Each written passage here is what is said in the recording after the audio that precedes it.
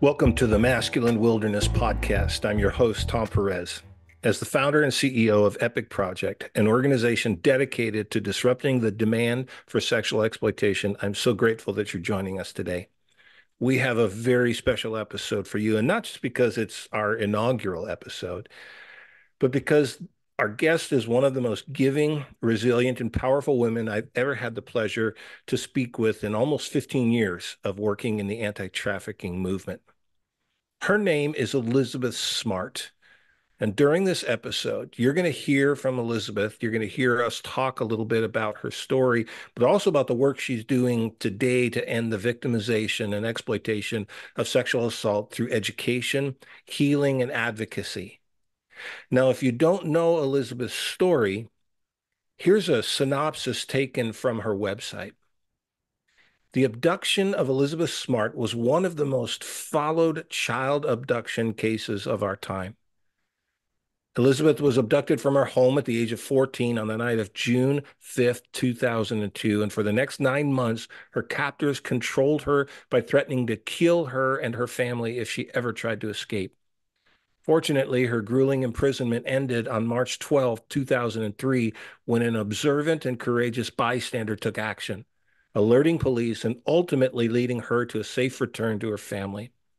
Then Elizabeth triumphantly and courageously testified before her captors and the world about the, of the very private nightmare she suffered during her abduction, which led to their convictions. Through this traumatic experience, Elizabeth has become an advocate for change related to child abduction, recovery programs, and national legislation. She's helped promote the International Amber Alert System, the Adam Walsh Child Protection and Safety Act, and other safety legislation to help prevent abductions. She's the founder of the Elizabeth Smart Foundation. Now, while Elizabeth did not experience human trafficking during her horrific ordeal, she possesses unique knowledge of the victimization and healing that applies to anyone who's ever experienced trauma at this level, including survivors of exploitation and trafficking. Elizabeth's story, like that of every other victim of sexual violence, forces us to ask hard questions. Questions like how? How could something like this happen? Why? Why do men inflict so much pain through sexual violence? And what? What needs to change in our world so that there are fewer stories like Elizabeth's to tell? These are big questions, and it feels like searching for answers leads us into some very unfamiliar territory, kind of like a wilderness. So let's explore this together. Now, one important note before we begin some of the topics we're going to discuss in this episode will no doubt be challenging to hear. There's mention of abduction, rape, sexual abuse, and human trafficking. And while it's never our aim on this podcast to delve into graphic depictions of these topics, we do discuss them as part of our work to eradicate abuse and exploitation. Please remember to take care of yourself while you're listening and also know that by the end of the episode, you are going to be inspired by Elizabeth, her triumphant story, her foundation, and her hopes for the future. Thanks for listening to the Masculine Wilderness podcast and welcome, Elizabeth Smart.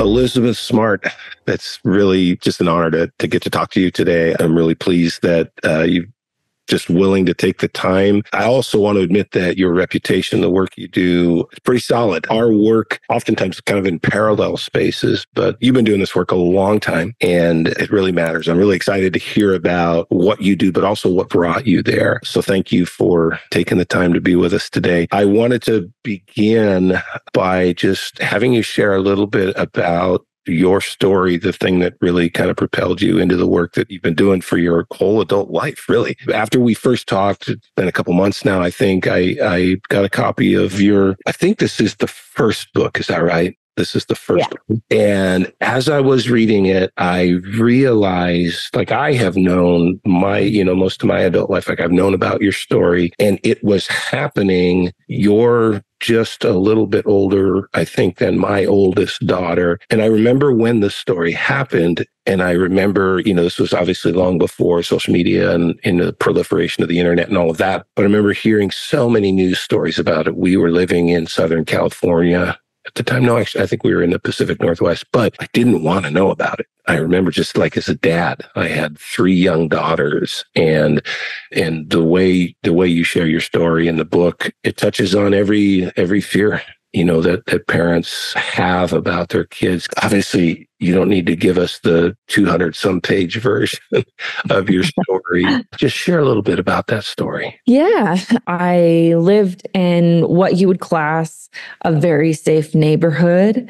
I grew up in a place where like the neighborhood kids would get together and play night games so like kick the can or hide and go seek or sardines almost every summer night. That's what we did and that's what we looked forward to.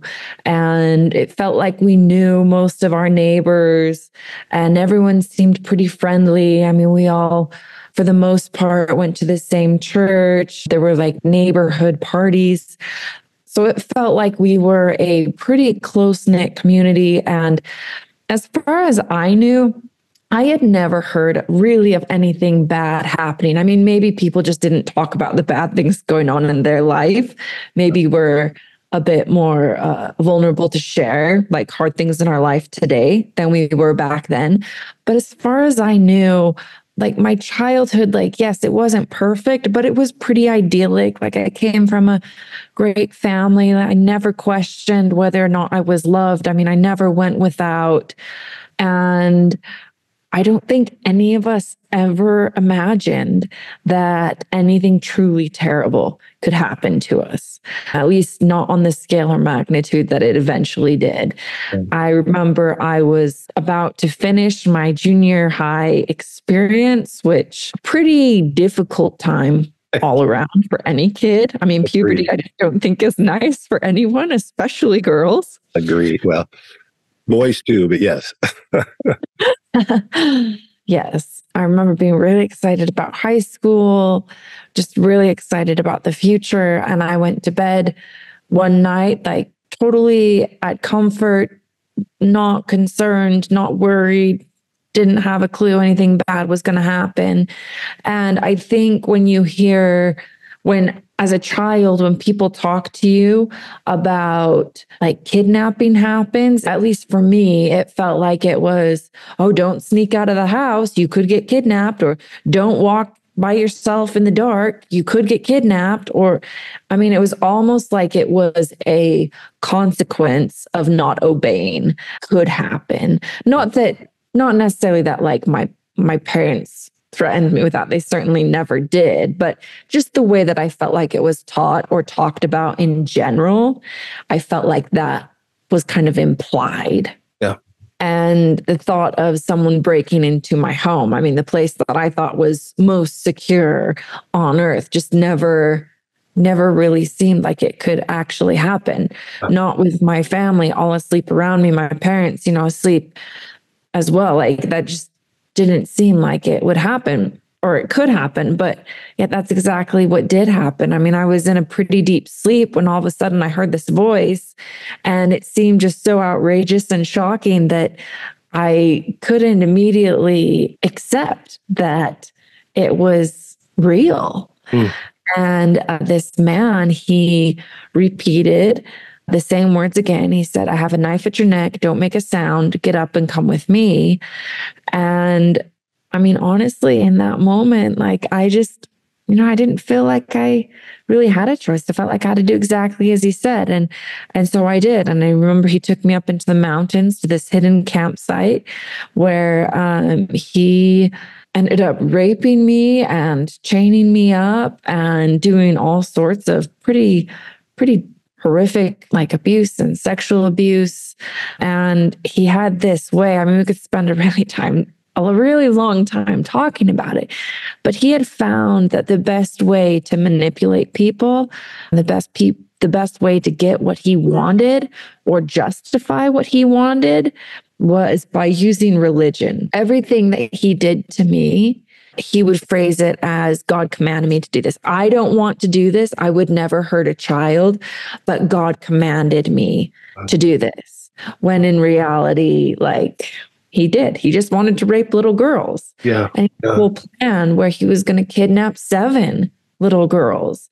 I just was the first. And um, I mean, he did actually try a few more times while I was held captive to go out and kidnap other girls. And thank heavens, um, he was never successful. I remember each time he went out, I was so worried and concerned because I would feel very, very guilty because I was alone. Yeah. And I was hurting and I was miserable and I wanted a friend.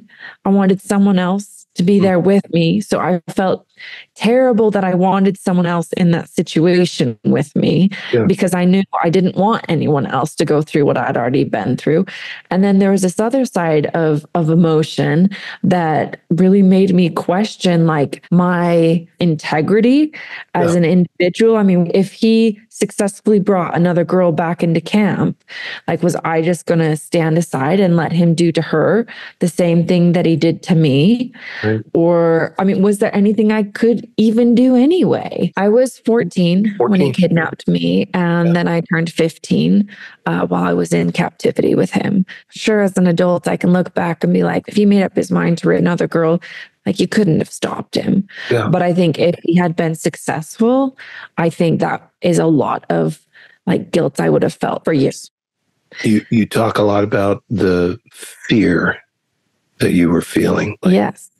I mean, every time like he threatened me with something, it was a very real threat. He didn't make empty threats. And I mean, he made threats all the time. And some of them, like he definitely did follow through. And sometimes I was like, I, I'll do whatever it takes to not have this threat come to fruition.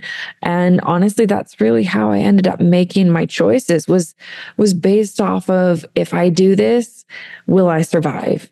If I don't do this, will I survive? And that's kind of how I navigated my my way through my captivity. And it kind of got to a point where I almost didn't even have to ask myself that question anymore because I just knew. I knew what was expected of me and I knew what would happen to me if I didn't do. So, Yeah. I mean, he didn't always have to expressly say, if you don't do this, then I'm going to starve you for a week or I'm going to uh, force you to go naked for days on end. Or, I mean, like he followed through plenty Yeah. for me to, help me understand that this was that these were very real threats. They weren't just empty threats. Yeah. It's interesting you talk about how he used religion to justify, at least in his mind, his behavior. But as I like as I read and learned about your story, like I don't know, you didn't really fall for that. You, you it seems like you kind of saw through that. I know you felt the weight of the the threats, the violence, but not the the religious rationalization. Did you ever really fall for that, or did you see through it? I feel like I was fortunate enough in my upbringing that my parents always stressed that you'll know a person by their actions. Actions speak louder than words. Yeah. So even though, like, he'd say, Well, God commanded me to do this, or God commanded me to do that, or, you know, this is what I'm supposed to be doing, his actions, like, they were hurting me. They were hurting my family. Like I couldn't make any choices. I didn't get to choose like when I ate or if I ate or what I got to eat or Yeah. if I had water to drink or if I got to sleep or if even if I got to go to the bathroom. I mean, I didn't have any like choice in the matter. And what he did, like always hurt me, hurt my family. And so, in that respect, it always made me feel like this is not the God that I was raised to believe in. Yeah. And this is not the God that I feel like I've tried to come to know. Yeah.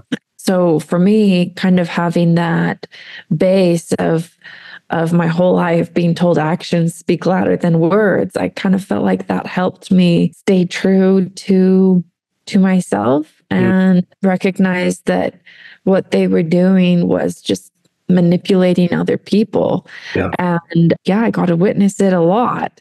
And I saw them lie a Yeah. lot. And so it just always seemed pretty clear to me that they were just a couple of really big fat liars. Yeah. Yeah. Wow. Yeah, your parents prepared you, and I mean, I'm sure that that never in their wildest dreams or nightmares would they think that they were preparing you for that, but they did. It seems like they did prepare you well to see the truth from the lies. Like even even at 14. So, man, your 15th birthday, what happened? Did you? I I was impressed in the again in reading your story. Like you, I can't remember like uh, by Tuesday what I did on the weekend, but like you were able to remember the just the progression of time. Do you remember your birthday during that season? I mean, at the time that I wrote the book, yeah, I remember it now. I might need yeah. to go back and reread the book to remember. But when you when you were in captivity, did you like wake up one day and go, "Oh my gosh, I'm 15 today"? Like, did you remember? Oh, that? yeah, I was aware of of time, and I knew I knew what day was my birthday. I knew what day was Thanksgiving. I knew what day was Christmas. Yeah. Yeah. Wow. Wow. There's a really profound resiliency that I see and and I've seen it in other stories of like the survivors that we've come to know over the years. Just a real internal innate toughness and tenacity. It, it sounds like you, yeah, it was survival mode is what it was most of the time, wasn't it? Yeah, exactly. Yeah. The I think the most haunting part, aside from actually being taken from your, you know, from your parents' home, but the I think the other part that was really haunting in your stories later in the story, towards the end of your captivity, when you were in town and you and I, I tried to find it before we came on here and I, I couldn't find the exact spot, but you, you talked, talked about you were wearing a veil, right? He mm-hmm. had you wear a veil and the pleading with your eyes when you would look at people and, and you would, did you see them turn away? Like, what was that experience like for you to know that you couldn't say anything. All you had was your eyes to communicate a message. What was that like? Actually, I find it a bit ironic, really, because these days, if you wore something covering the lower half of your face, people wouldn't think twice. Mm thanks to COVID. Right, right. Um, but back then, it wasn't long after 9 11 happened. And I felt like at the time, and, and I mean, I could be wrong, I was just a kid, but my memory certain certainly seemed to tell me that like people were just extra sensitive to any form of perceived extremism Mm. And so when people would see us out in public, I mean, they, they kept away from us. And, and honestly, I think that's why my captors had us dress the way that we were dressed and why they had us act the way that we acted was to keep people away. I think they knew, they recognized that extremism scared people. And, and so they capitalized on that. Mm. And I mean, I remember the one of the times I was taken out in public, we were walking down a sidewalk and there were people who were walking towards us and they stopped when they saw us and they crossed the street to the other side to walk by us. And then when they were a ways past us, they crossed back to the same side. I mean, I remember someone multiple times actually sticking their head outside of their cars and yelling Osama at us as they drove by. Wow. Uh, I mean, it was it was hard because and I feel like I have maybe some kind of compassion towards the people that acted the way that they did. I don't think anyone ever thought like the Twin Towers could come down, and, and right. yet they did. Right. And I think that scared a lot of people. And so part of me is like, okay, like you're not used to seeing yeah people dressing or acting a certain way, I could understand how that would, you'd put your guard up to that. Yeah. But like for me, like that just felt devastating because I just, you know, I wanted to be saved. I wanted to be rescued. And, yeah. and I was like trying to like make eye contact with people and trying to, I don't know, send a message just with my eyes. And it ended up scaring people. And so that yeah. was, that was devastating. Yeah. Yeah. So it was nine months of that hellish experience. What was the moment when when you were actually rescued? What was that like for you? Actually, the day that I was rescued, I mean, looking back, yes, it's you know, such a miracle in my life. And it was incredible. Like, it was everything I ever wanted coming back home to my family. But the actual like interaction with the police when they first approached us, honestly, it was scary. I had been very you know, I'd been very abused, I'd been very threatened. And then the police officers, I mean, they were very aggressive, honestly, in their questioning of me as well. I did not know them. I did not know what they were capable of. I didn't know if they could actually protect me, but I knew what my captors were capable of. And I knew what they had threatened me with. And I knew what they would do if the situation worked out in their control as it always had done in the past. Right.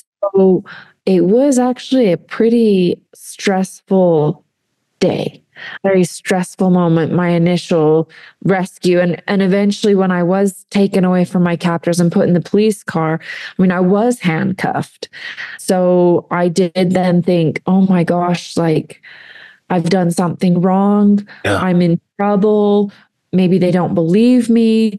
Like,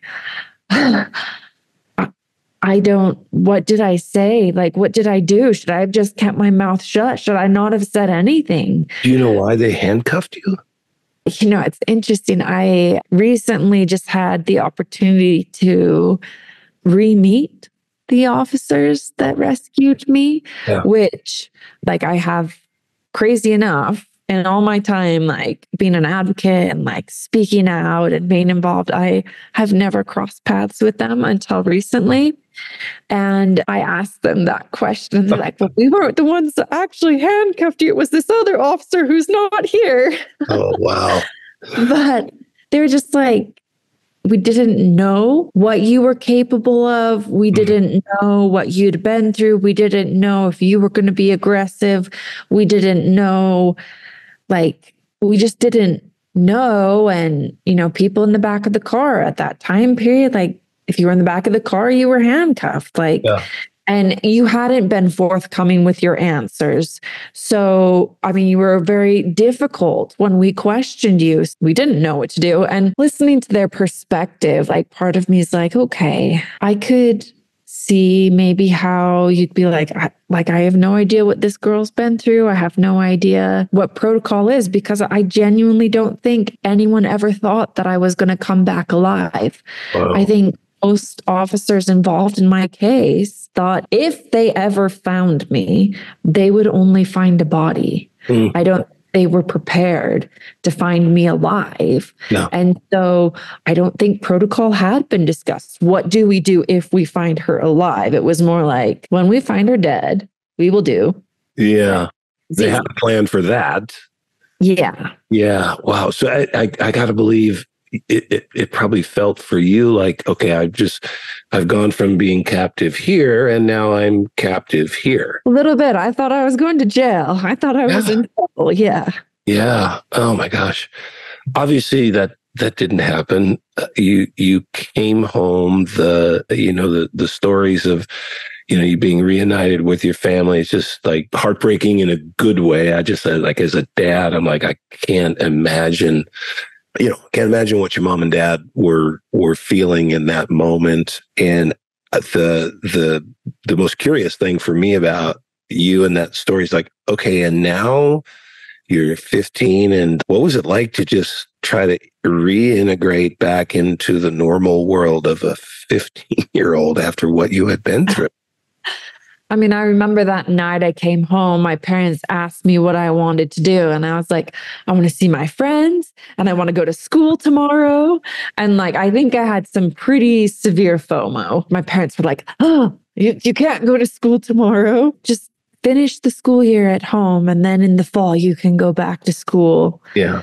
And I mean, I like initially I was like, but I want to go now. Like, I want to, like, I've already missed so much. Like, yeah, I want to go see my friends and I want to make up for lost time. So, like, I was very anxious to get back to all the things that I felt like I was missing out right. on. Right. Uh, and when I eventually did start high school, I think that there were a lot of people that just didn't know how to respond to me. Yeah. So, what was that like? So maybe they kept me at arm's distance just because they didn't know. They didn't yeah. know what to do or how to act around me. And then there were people, I mean, I went to a pretty large high school, and like there would be people who I would walk down the hallway and they just like call out my name to see if I turned, if I would turn to see if it was really me. It was all right. Like eventually time passed and I think probably like the novelty, I think it kind of worn off. And I mean, people who had been my friends before they were still my friends. And I'm I did make new friends. And I think people like quickly realized the more time they spent with me that like I was just a kid. Like I was, you know, I wanted all the same things that they wanted. And I think initially people were really worried that maybe they would like hurt my feelings or like, I think maybe they felt like they were walking on eggshells around me a little bit initially. And I remember like as people would get to know me, I'd be like, believe me, like my two captors like didn't completely break and shatter me like i don't think you can. Yeah yeah. Uh, wow. So how did you in the you know as you as you came out of that experience into high school and, and beyond how did you navigate the the trauma of that experience? How did you navigate that? I mean you might almost even just call it stubbornness mm. because while I was kidnapped, I felt like all the dreams that I had for my life had been taken away from me. Mm. And I felt like all of my, all of the ability to make decisions were were taken away from me. Mm. And so when I came back, I mean, like I wanted to have like the high school experience. I I wanted to get my driver's license. I wanted to go to dances. I wanted to do the cross country team. It lasted for like 2 weeks, but like those 2 weeks it was great. yeah. yeah. I mean there were like I I wanted mm-hmm. all the things that I felt had been taken away from me. Yeah. And so I was very excited about experiencing them. And I mean, there were hard times. Like, I'd be lying if I was like, oh, I never had a hard day since then. Yeah. Um, I definitely did. And I don't know, sometimes just like having a calm place to sit and sift through my emotions was helpful. Or, I mean, I grew up playing the harp. Mm. And. I felt like sometimes, like, if I couldn't articulate how I felt. I felt like I could play how I felt. Yeah. And not even that, like, I was, am still by no means like, I am not a virtuoso at all. Like, yeah. my ability at the time was like what you'd expect from a high school student, but it still, it still helped being outside, getting away from whatever was going on was was really nice. My parents used to have a cabin up one of the canyons surrounding Salt Lake and it always felt like such a nice escape mm. to to go there and just feel like in a good way, not a bad way, but feel like nobody could find me there or yeah. nobody could like, I don't know, bring up hurtful things there. Yeah. That was really nice. It felt like a a refuge and it was like a place that I felt like I could go or my parents would take me that like allowed me to feel how I felt and then kind of go back to finding my sense of equilibrium and being able to come back down yeah. and face whatever it was I needed to face. You still play the harp? Not as much as I would like to. Okay. My daughter, she was in the Nutcracker, and as parents, we were supposed to volunteer uh, hours contribute hours, service hours. And so my service was playing prelude music. Oh, wow. And that was for like, I don't know, was it a week and a half, two weeks every night? And I yeah. felt like that's the most playing I've done in, in quite a while, but uh, it makes me feel like I need to get it back. I need yeah. to start being more consistent with practicing. Oh, that's great. That's great. I think the what impresses me there's a lot of things that impress me about about your story and just kind of where you've gone with it. It's the resilience. It's just yeah that that innate stubbornness that I think is a part of who you are. But then you grew up. You're married. You're a wife. You're a mother. You're doing all of the things that so many people just they, they just do it's just it's really normal but you also in addition to all of that you took that experience and all of that trauma and you focused it into your foundation and you've spent how many years now the elizabeth smart foundation started when it was it was 2011 so 12 coming up on 13 years uh, i guess it's ironic, same age as Epik. Same. So so tell us about that work. Tell us about what you're doing. What's the scope of it? What's your vision for that work? Yeah. So, you know, when I first came back, I felt so much shame and embarrassment around all the sexual abuse that I experienced. And I, I didn't want people to know that I had been raped or that I had been like sexually abused. And like looking back, I'm I'm not saying it's laughable to have thought that, but like at the same time, anyone who would have heard even part of my story would have just naturally assumed that that I had been raped. Yeah. But I thought, I mean, for years, I thought I could hide it. Of course, that was unrealistic. But then also, I didn't hear people talk about it back then. It wasn't just something that came up in common conversation. And as time went on, well, initially I felt like I was alone. I felt like nobody else could understand what I'd been through. I felt like it was like so shameful, even though in my mind, I knew it wasn't my fault, but my like my heart and my emotions did not align with what my mind told me. Yeah.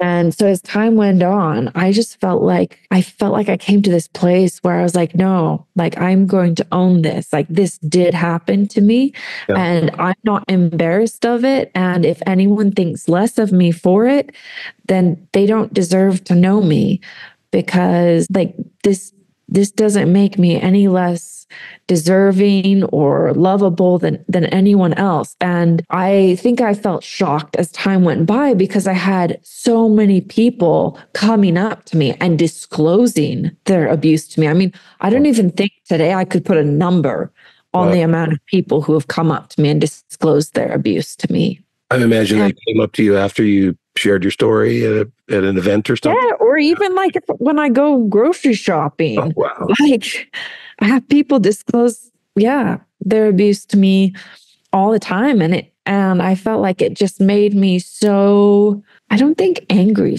the right word, but just like passionate mm. about I guess, changing the narrative because it is so common. And I think it's been shocking for me to realize it was definitely shocking to me when I realized just how common sexual assault and sexual violence and rape was. Yeah. I'm, I couldn't believe it. And even to this day, for example, there are so many wonderful causes. And I'm so grateful that so many people feel passionate about each individual cause because, like, like I don't have the energy or bandwidth to take on everyone's cause. So I'm so grateful that everyone has a cause.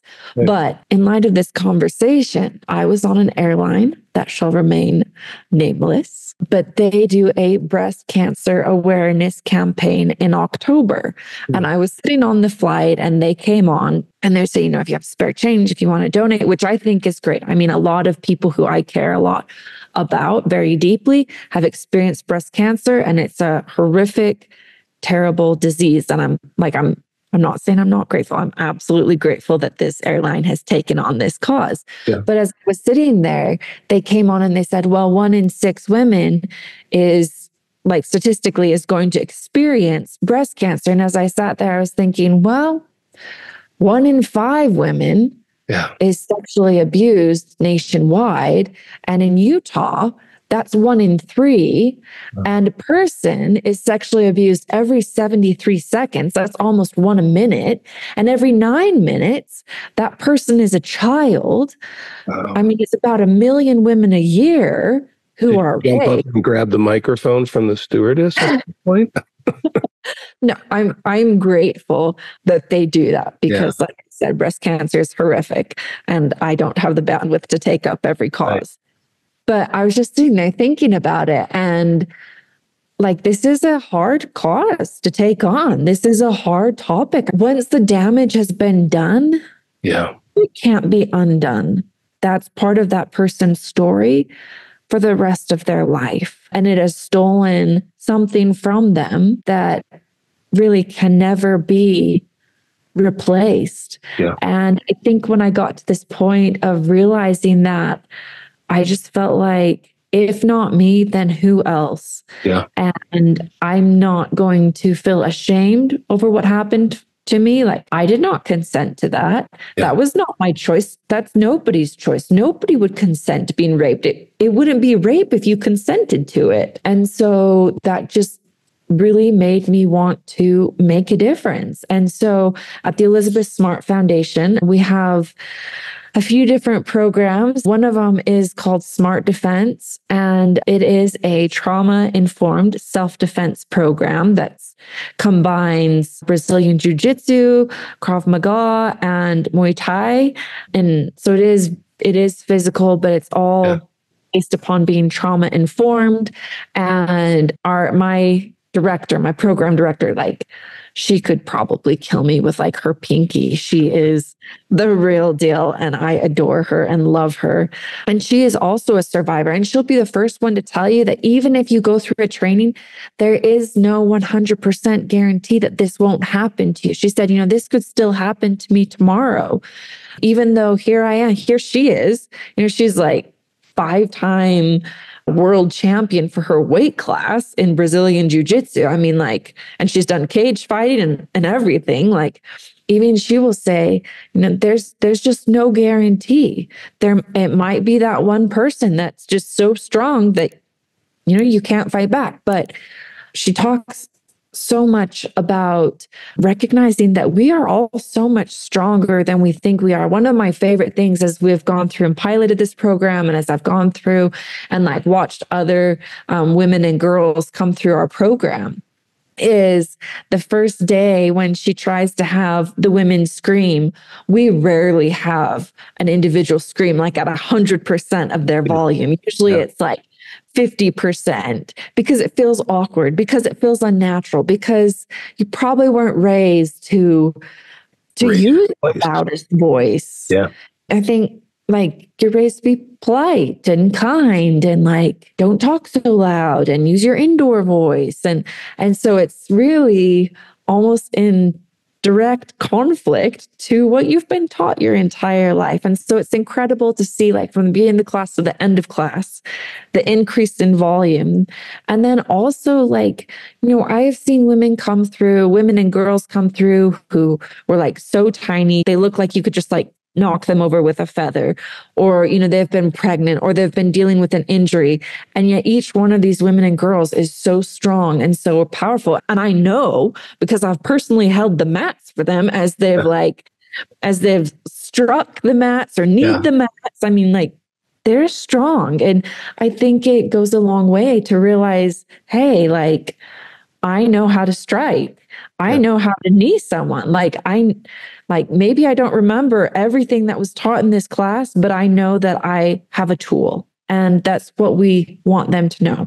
Yeah. We want them to know that they they do have tools. And even if in that moment they freeze or they don't respond, they didn't do anything wrong. That's just their natural, that's just their natural response kicking in. Yeah. Uh, it's just more tools. Yeah. Tools give you the opportunity to get away because that is the ultimate goal. It's right. it's not to kill the person. I mean, like if that happens, I'm not going to cry. I might applaud you, but yeah. like we don't want you to just like to stay and fight them. Yeah. We want you to know enough to get away safely. Get away. Is this school based? So we do have it in a couple of universities. Okay. It's become an accredited class. In a few universities here in Utah, we are working continually on expanding and growing it ah. outside of Utah as well. And then one of my favorite campaigns that we do every year is called We Believe You. And we run it all November long. It's all year long, but our big push for it is in in November because I think probably the most common when someone discloses their abuse to me, the most common comment that goes alongside it is I was scared nobody would believe me or yeah. nobody did believe me. Yeah. And so I've never told anyone this or I've never sought further help because right. of this. And like that breaks my heart because they shouldn't have to carry around this huge heavy weight for the rest of their life. I mean, there's so many like kind, loving, wonderful people and organizations that have dedicated time, resources, like everything to help survivors. Yeah. And so this campaign is helping survivors to know that they're not alone, that there are other survivors in this world that have been through something similar. And it's also to provide education to communities because how difficult is it to respond when someone tells you about something really terrible in their life? I mean, I think all of us are like, oh, this is like really awkward. I don't know what to say. Like, I want to say something that'll like help you, but I don't want to hurt you. And I think a lot of people really struggle with that. So, with this campaign as well, you know, we talk about how to respond compassionately without questioning them or trying to fix them. Yeah. Um, just knowing that we're there for them, that we support them, that we love them, that we will follow their lead. You know, yeah. if they want someone to go with them to the police station to report, like we will do that. If they just want to go on a walk and have a friend, like we're there for them or get ice cream or maybe find a therapist or I don't know, join like a, I don't know, like a group fitness class. I don't know. It could be anything. Yeah. Yeah. It's just believing them and supporting them. That's such a simple and yet like really profound idea just to say that we believe you. And I saw that on your website, read a little bit about it, and it was chilling for me because the one time in my life I got called to jury duty, it was a rape case. And during jury selection. I forget what, what the term is for that. The the defense attorney asked asked me, he was asking everybody, if a woman says that she was raped, are you inclined to believe her? And it was just to me, it seemed like really self-evident. I was like, yeah, why would you say it if it wasn't true? You know, like to me, it was like, duh, yeah. So I said yes.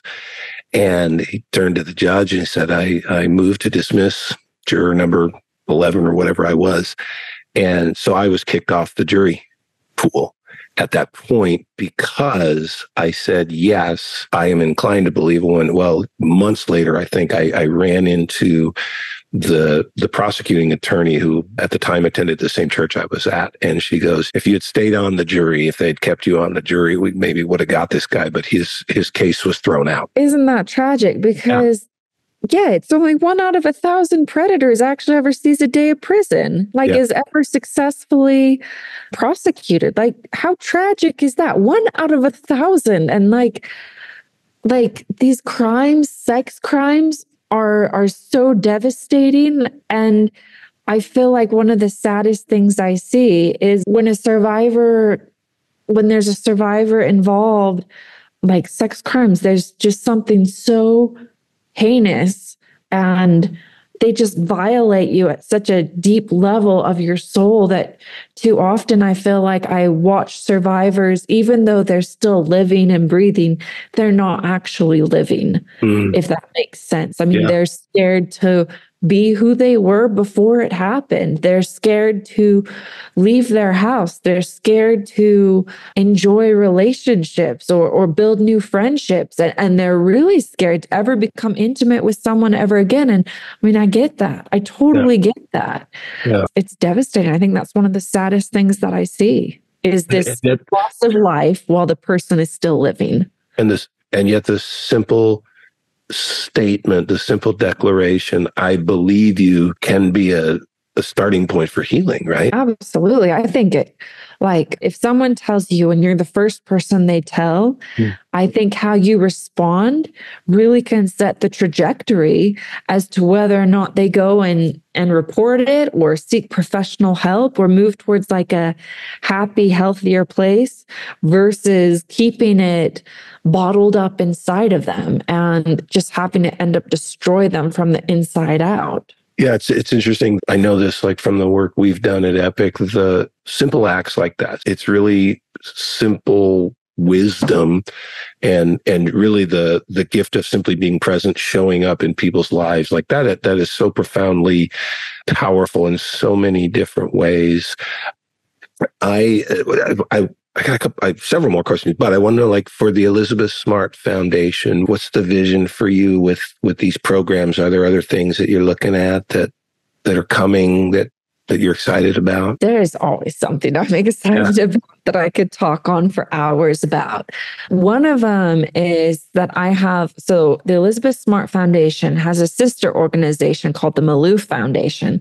And we our goals and our desires, they all align. And one of the programs that they have that I love and I think everyone should take it. Is called on watch. And if you go to iamonwatch.org it's a free training that i mean total it's maybe an hour, maybe a little bit under an hour, but it's a series of videos that teaches you how to recognize signs of human trafficking and what to do. And even beyond human trafficking, like I think there's so much good information that if you just pay attention to it, you'll be able to recognize just signs of abuse, period. Yeah. Um, but it's like it's free. And when people are like, well, what can I do today? I'm like, go take this training, go sign up and go take it right now. And then tell everyone else you know to go take it and have these conversations because abuse as much as you think would be obvious or trafficking, as much as you think it'd be obvious, it's not. And it yeah. happens in bad neighborhoods and it happens in nice hotels and not nice hotels. I mean, like it happens everywhere. And I think the more informed we are, the more likely we are to recognize it and yeah. hopefully eventually like turn the tables. Let's start changing the statistics. We live in such an incredible world and people are so smart. Like I'm continually like just amazed at like what people come up with or how creative they are. And I just think we live in a world and I really do believe that there are more good people than bad people. If we're all coming together and we're putting our minds to this topic and we're paying attention and we are just committing ourselves to being aware like is it unreasonable to think that we could see the statistics change mm-hmm.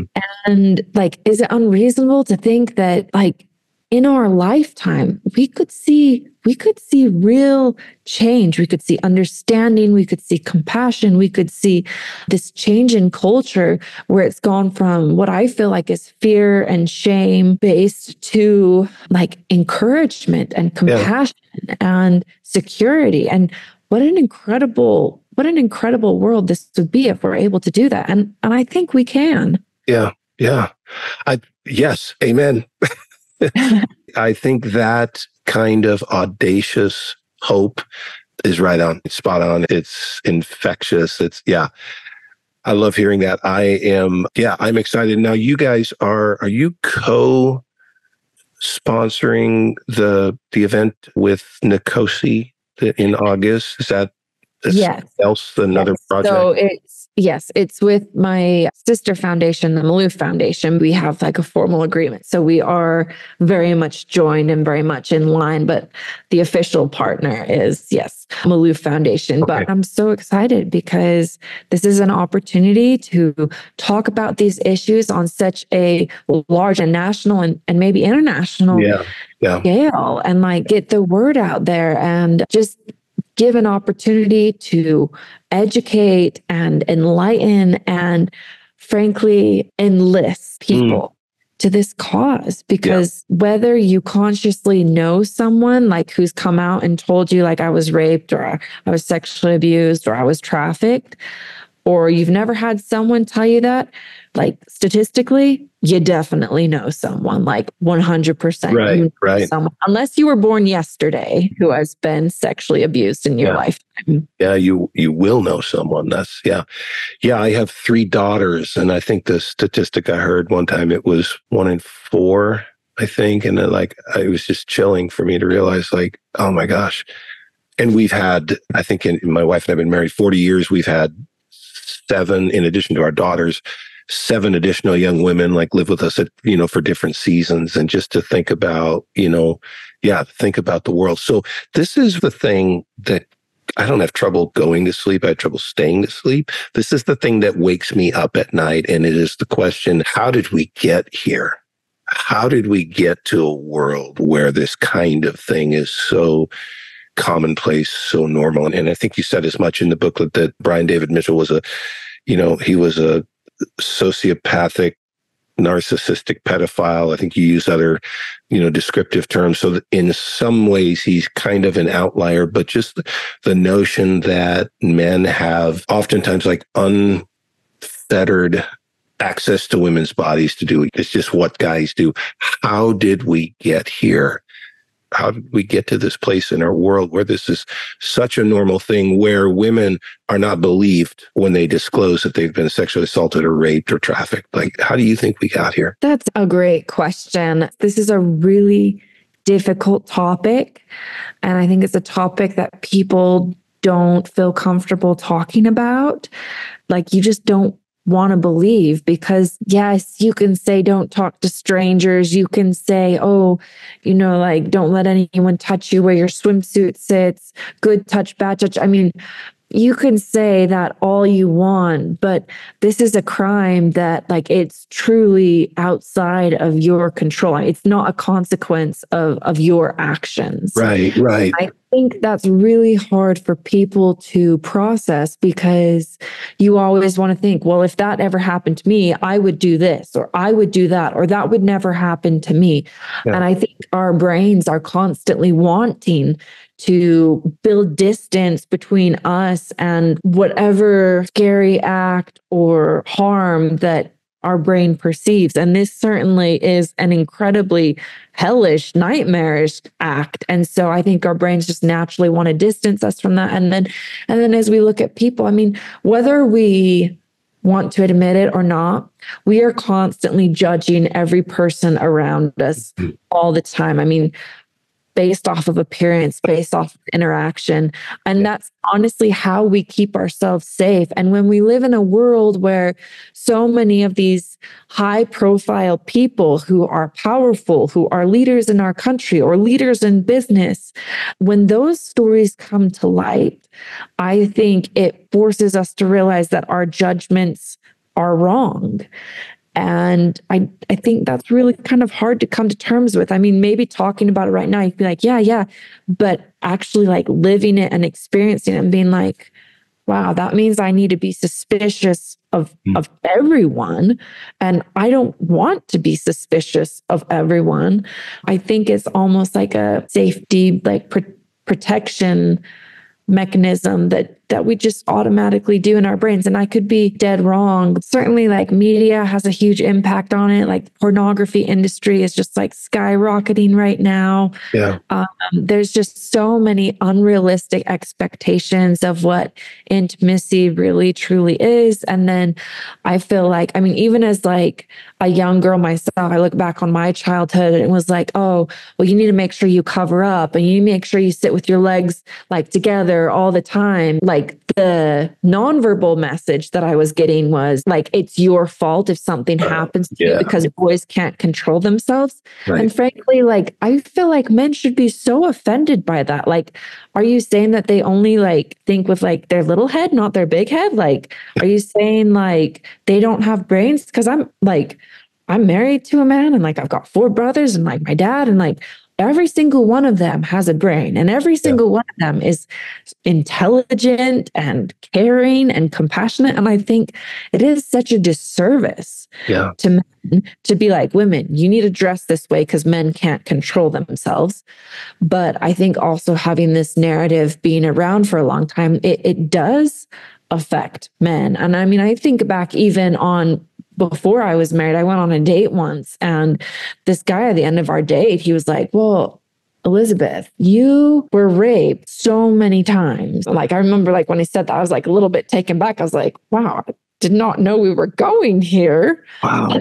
This is on a date. First or second date. Wow. He finally said, Did you ever just like lie back and enjoy it?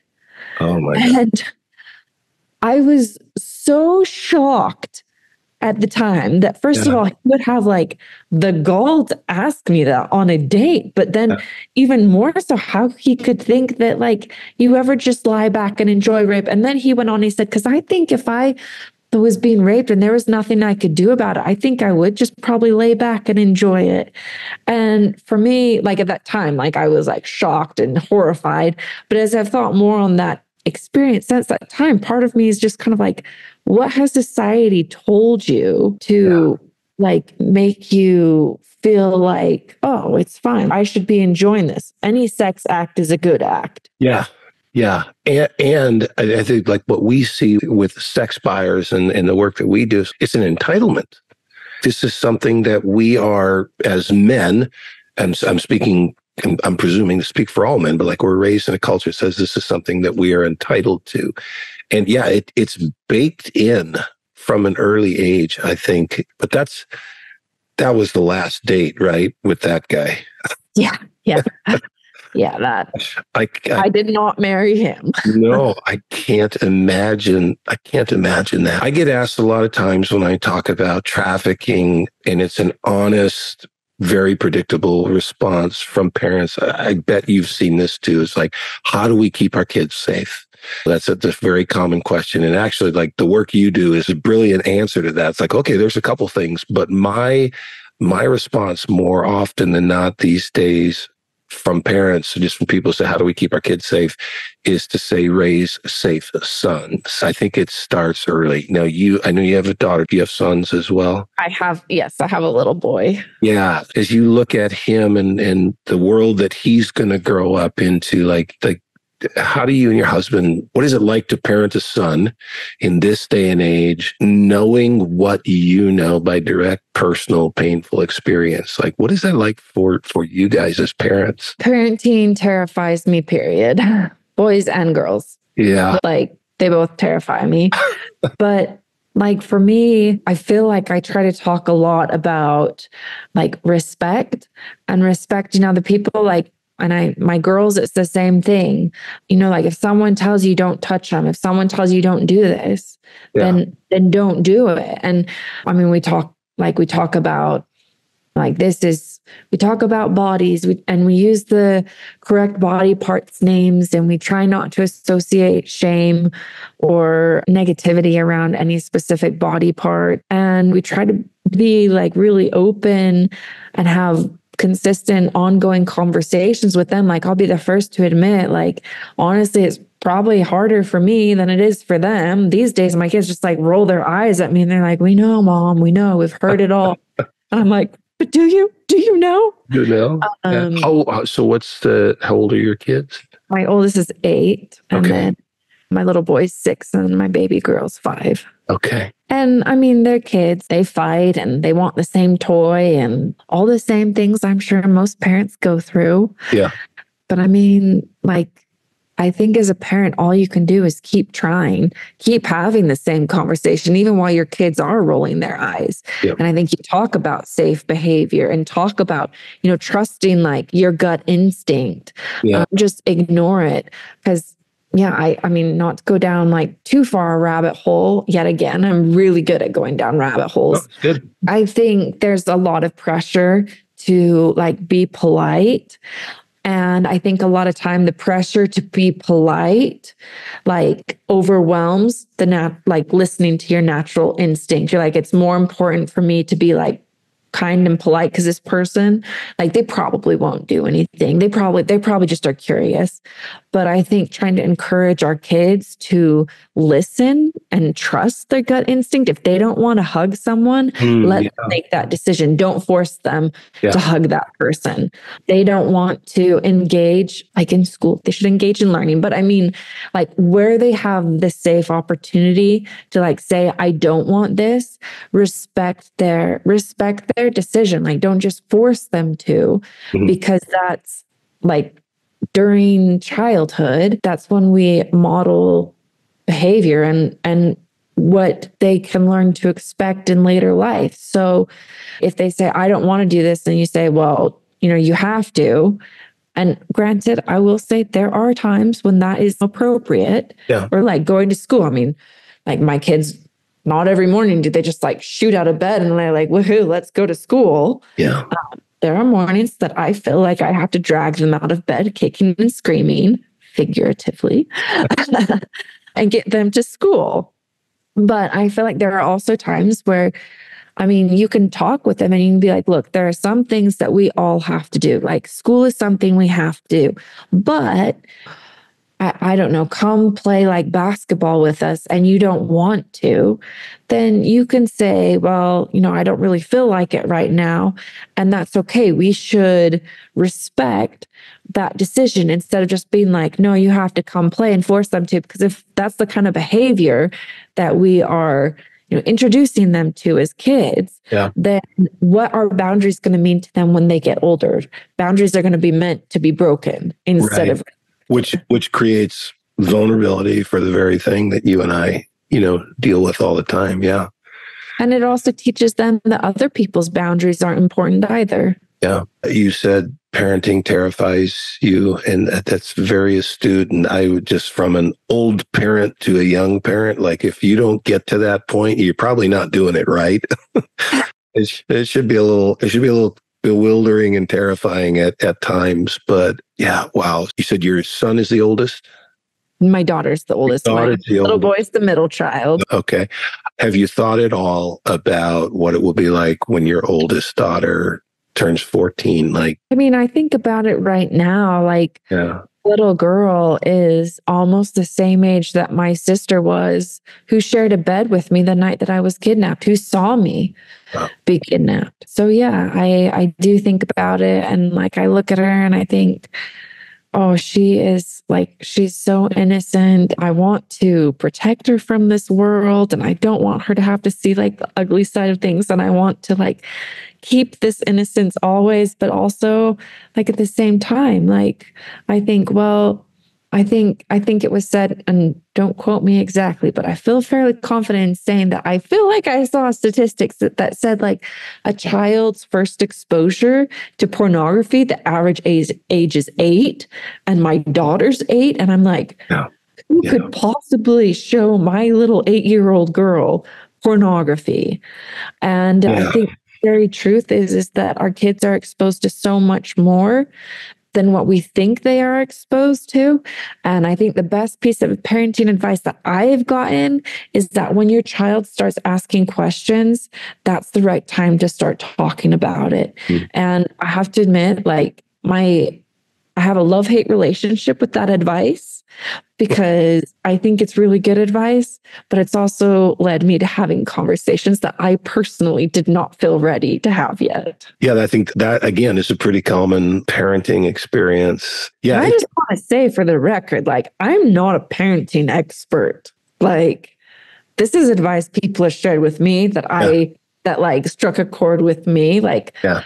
I am like everyone else, just trying to do the best that I can and learn as I go.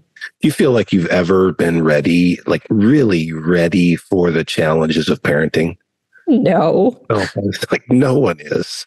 And if no. they tell you that, if they tell you they are, they're lying, I think. We're never ready. Before I had my first, I think I felt like, oh, it's not going to be that bad. Like I was second of six. My youngest brother's like 11 years younger than me.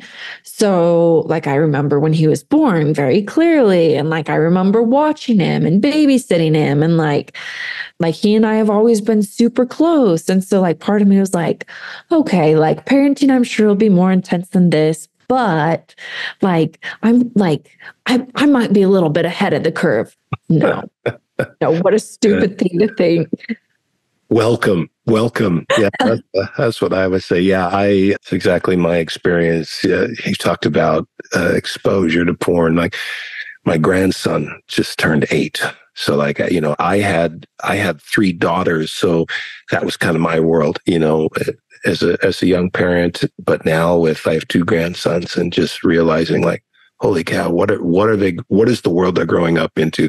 Like as a man, what is the world I'm handing off to my you know my son-in-laws to my grandsons you know to young men it's it's a it's a really chilling thing there's so much we talk a lot at Epik about the the toxic nature of the masculine culture. You know, toxic masculinity is a term that gets used a lot and and maybe overused in some cases. But I it's it's a I think it's an accurate description because toxic things they they break down, they tear things apart, they destroy life. So we talk about generative. It's kind of the opposite of that.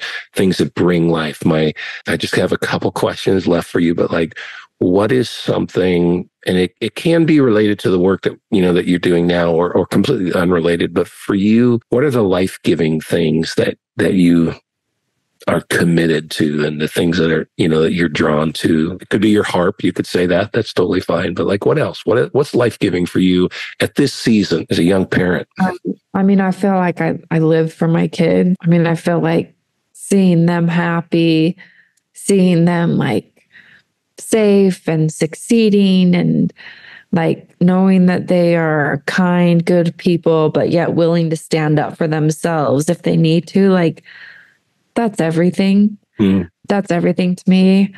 I feel like more than ever becoming a parent like makes me feel all the more passionate about all the things that we do at the Elizabeth Smart Foundation, all the like advocacy, advocacy that comes into my personal life around these topics. I feel like it's like I have three, I have the best three reasons in the world to keep on fighting this fight.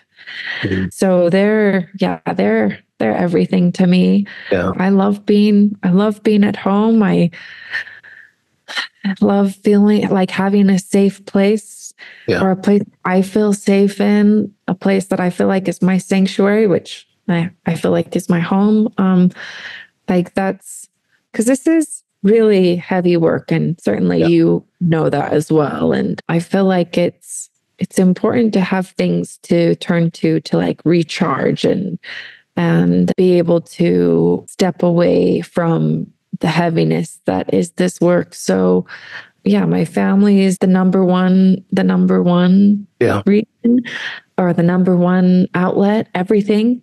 Yeah. But also like, yeah, if I have the chance to play the harp, that's great. I certainly don't play it as much as I used to. I am a grade A idiot and I keep signing up for marathons. And in the beginning, I'm like, yeah, this is so great. Like, I feel so good. And then as I get closer and closer to peak week, I'm like, I'm exhausted. Why am I doing this?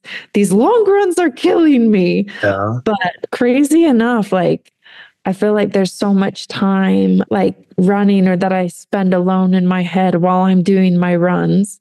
If that doesn't sound like I'm too crazy, no. I feel like also like just kind of gives me a chance to like process all of the things that I'm feeling or think of things that I want to do or hope to achieve or like it's just like a good processing time, yeah. if you will. How, how, many have you completed? I've done three so far. I signed up for my fourth one, which will be in February. And currently, I am thinking, I am such an idiot.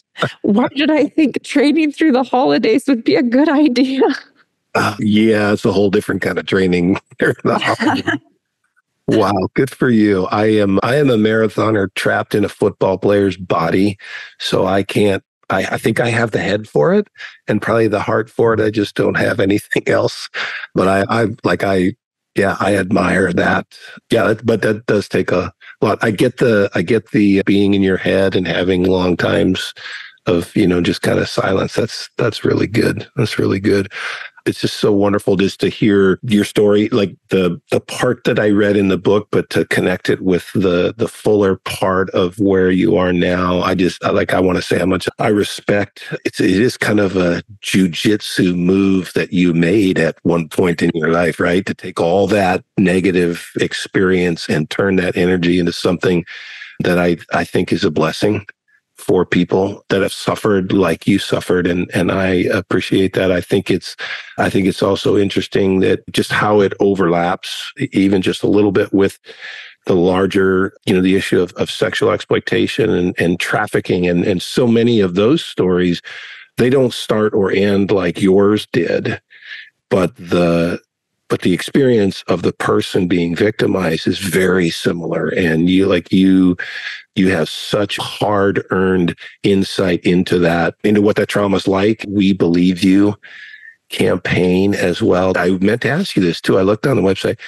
Uh, do they sell shirts for guys or is it just for girls? We do. No, they absolutely do. we do. I'm, I'm, getting one. I'm getting one. I, I will wear it. I might just wear it. It's not exactly safe, but I might wear it when I go motorcycle riding because I, I tend to end up in places where guys think differently about those things. So maybe I'll I'll do that someday and wear it into a biker bar. If I do, if I do, I'm going to send you a picture. I was just going to ask for one. Please do. Yeah, yeah, I will. I will send you a picture. So that's great. I say it's our tradition only because we're just starting, but I want it to be our tradition that our guests have the last word. And I'm going to be a little selfish here. If you if you could think of something hopeful and life giving and challenging that you would say to men that are listening to this? I think it's the same thing I'd say to women. Well, I guess it's kind of three things. The first thing of the three is everybody has a story. Everyone has something that they've been through and experienced. The second thing is that whatever it is that you've experienced, it doesn't have to define you. Ultimately, you define yourself by the way you live your life. All the little decisions that you make every single day, that's what defines who you are. And the third thing is it's important to take time to be happy. Mm. It's easy to always be chasing the next project, the next promotion, the next whatever. Yeah. It's really, really important to take time to enjoy your life, to find happiness, find the things that bring meaning and peace and joy and equilibrium into your life. And those are the things that I would share. Elizabeth Smart, you are a blessing. Thank you appreciate you and thanks for taking the time. Well, thank you for having me, Tom. I'm so I love what you're doing at Epik and I can't wait to see what the future holds. Yeah. And we'll we'll we will meet for sure in person in DC. I will be there this summer. Great. I can't wait. Yeah. All right. Thank you for listening to the Masculine Wilderness podcast with your host, Tom Perez. This podcast is a production of Epik Project, a nonprofit organization dedicated to disrupting the demand for commercial sexual exploitation and dismantling the forces that perpetuate it. I'm your producer, Lauren Trantham. Special shout out to our favorite logo designer, Michelle Boucher, as well as Wes Finley, who crafted and donated our amazing theme song. Interested in sponsoring an episode? Send us an email at podcast at epikproject.org that's podcast at epikproject.org. As a nonprofit organization, your donations allow us not only to produce this podcast and change the conversation around sexual exploitation, but also to manage our many programs, such as buyer intervention, teen prevention, and community education. Your support also allows us to support survivors of exploitation and more. To learn more about our work and to donate, visit www.epikproject.org. Once again, that is www.epikproject.org. Most importantly, this podcast would be nothing without you, the listener. Thank you for tuning in, subscribing, and sharing this episode with your friends and loved ones. Thank you for your commitment to learning more about the issues that affect our most vulnerable populations. Thank you for navigating this masculine wilderness with us. See you next episode.